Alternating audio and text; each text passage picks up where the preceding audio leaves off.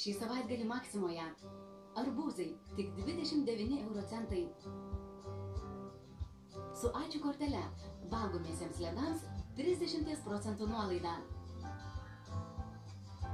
Saldainiams ir šokoladui taip pat 30 procentų nuolaida.